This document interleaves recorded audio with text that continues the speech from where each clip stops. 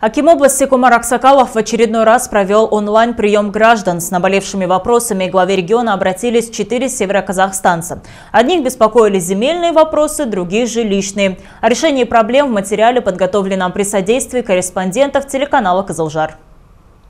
Первый вопрос, который поступил к Умару Аксакалову, касался земельных отношений. Жительница областного центра Анна Дубровская 7 лет назад приобрела участок в селе Тепличном Козлжарского района и начала строить дом. Однако при проверке документов выяснилось, место постройки принадлежит другой компании.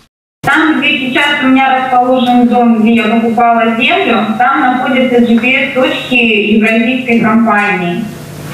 В связи с этим а, я не могу никак разделить э, свой участок, то есть привести документы в соответствие, разделить свой участок между мной и бывшим супругом, к примеру, ну и, соответственно, продать его.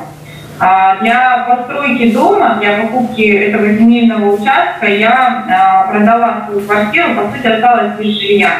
И вот теперь несколько лет я не могу продать из-за того, что мне не могут никак поставить на место из GPS-точки и привести документы в соответствие. Кто совершил ошибку? Скажите мне. Ошибку, ну, если так разобраться, первоначально вот это лицензиаты. Вы мне отвечаете, какие-то лицензианты. В конце концов, лицензии кто дает? Государство, наверное, в лице. Это если если через вас все эти э, операции идут, ну так тогда вы, получается, не доработали. Решить вопрос незамедлительно. Такое поручение дал глава региона Акиму Козлжарского района Жанату Садвакасову. Пообещали взять на контроле вопрос Николая Щепеткина из района Макжана Жумабаева. Инвалид второй группы проходит лечение в городском центре социальной адаптации. В январе следующего года ему предстоит операция на тазобедренном суставе. После нее пожилому мужчине идти некуда. В центре социальной адаптации мне уже продлевали э, два раза.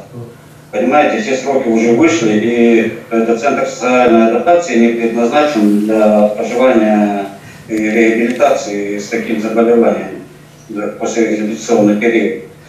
И для того, чтобы потом по получении второй группы инвалидности для реабилитации, для проживания в доме инвалидов, срок должен пройти несколько месяцев. А я на этот период времени остаюсь просто без жилья.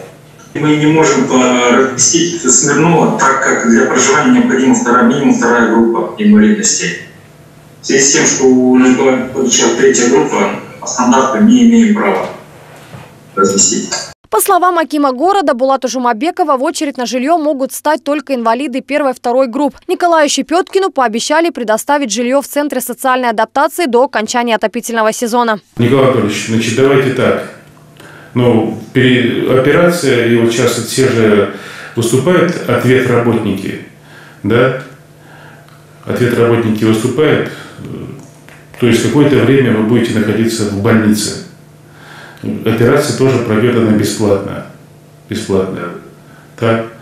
Значит, какой-то период времени, э, там, два, может быть, месяца, может быть, три месяца, вам нужно для того, чтобы вы реабилитировались мы вам поможем по трудоустройству, значит, и ну, как-то надо зацепляться, зацепиться за эту жизнь. Многодетная мать из Мамлютского района Светлана Гуменик в очереди на жилье стоит восьмой. За год, говорит женщина, она сдвинулась только на одного человека. Обратилась к главе региона, чтобы узнать, будут ли возводить многоквартирные дома для социально уязвимых слоев населения. Строить жилье для многодетных семей врачей в районе планируют в следующем году. А вот Василий Шунько из-за карантина лишился работы. Житель Петропавловска попросил Кумара Аксакалова возобновить работу в выходные и праздничные дни единственного в областном центре горнолыжного парка.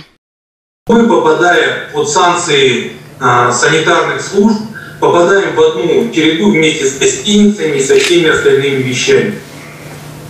Хотя бы принципиально другая как бы, ситуация у нас.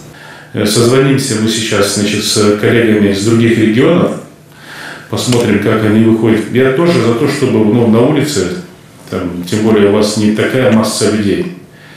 Я же там бывал у вас, видел, только вы начинаете, поэтому очень важно сохраниться, конечно. Все вопросы Аким области взял на личный контроль. Руководителям управлений и Акимом районов Кумар Аксакалов поручил детально ознакомиться с каждым обращением. Анжелика Сычева, Новости МТРК.